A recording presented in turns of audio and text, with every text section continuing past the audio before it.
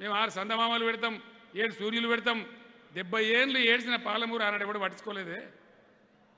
తెలంగాణను ఉడగొట్టింది ఎవడు? ఇదే కాంగ్రెస్ వాడు కాదు. తెలంగాణను ఉద్ధరిస్తా నేను దత్తత తీసుకున్నా అని చెప్పి పునాది రాళ్ళు వాటి ప్రాజెక్టు పెండింగ్ పెట్టింది ఎవడు? ఇదే తెలుగుదేశం అన్నాడు చంద్రబాబు నాయుడు కాదా? ఎవరన్నా మనకు సాయం చేసిండ్రా? మనం ఏడిచిన్నాడు మనం వలస పోయినాడు మన జిల్లా మొత్తం బొంబాయి బస్సులకు ఆలవాలమైనాడు ఆగమగమైనాడు. ఎవరన్నా పట్టించుకున్నారా? ఇవాళ మనం కొట్లాడుకొని మన రాష్ట్రం తెచ్చుకొని ఇవాళ అప్పుడప్పుడు చిన్న చిన్న చిన్న చిన్న ముఖం తెల్లగైతా ఉన్నాం. కొద్ది కొద్ది బాగుపడతా ఉన్నాం. మళ్ళా ఆగమైతే గోసపడతాం. నేను మీ అందరిని ప్రార్థించేది ఒకటే.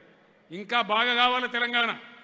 పాలమూరు జిల్లాలో మొత్తం ఐదు జిల్లాలు కలిపి ఎవడన్నా యాభై ఏళ్ళ కాంగ్రెస్ పరిపాలనలో దాదాపు పదహారేళ్ళ తెలుగుదేశం పరిపాలనలో మహబూబ్ నగర్ జిల్లాకు ఒక మెడికల్ కాలేజ్ ఇచ్చిండ్రా? వచ్చిందా? ఇవాళ ఎన్ని మెడికల్ కాలేజీలు? ఐదు మెడికల్ కాలేజీలు మహబూబ్ నగర్ జిల్లాలో ప్రభుత్వ మెడికల్ కాలేజీ. నిన్ననే నేను ఒక తొమ్మిది తొమ్మిది మెడికల్ కాలేజీలు నిన్ననే ప్రారంభించిన. తెలంగాణ ఈరోజు ఖచ్చితంగా సంవత్సరానికి పదివేల మంది డాక్టర్లను ప్రొడ్యూస్ చేసే రాష్ట్రంగా తయారైపోయింది. ఇండియాలోనే మొత్తం ఇండియాలోనే ఏ ఒక్క రాష్ట్రంలో కూడా జిల్లాకు మెడికల్ కాలేజీ లేదు. కానీ ఇలా మనం తెట్టుకున్నాం. ఇట్లా ఒకటి ఒకటి చేసుకుంటూ ఇలా మామూలు స్కూల్ ఫీజు అంత ఫీజు కడితే ఎంబీబీఎస్ చదివే పరిస్థితి తెచ్చుకున్నాం. మన బిడ్డలకు రావాలి.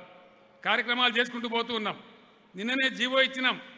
బడి పిల్లలు పేదింటి బడి పిల్లలు స్కూల్కి పోయే పిల్లలు ఉదయం టిఫిన్ పెడితే స్కూల్లో బాగుంటుందని సమాచారం వస్తే నేను ఐఏఎస్ అధికారులను మన చీఫ్ సెక్రటరీ గారిని రిక్వెస్ట్ చేసి తమిళనాడుకు పంపించి అక్కడ చూసి అక్కడ బాగుందని చెప్తే ఇంక అంతకన్నా మంచిగా పెట్టమని చెప్పి స్కూల్ పిల్లలకు అక్కడ ఐదవ తరగతి దాకానే ఉన్నాయి తమిళనాడులో.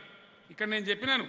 పదవ తరగతి దాకా పిల్లలకు అందరికీ పెట్టండి టిఫిన్ పెట్టండి కోడిగుడ్డు ఇవ్వండి మధ్యాహ్నం బ్రహ్మాండంగా భోజనం పెట్టమని చెప్పి నిన్ననే జీవో ఇష్యూ చేసినాం.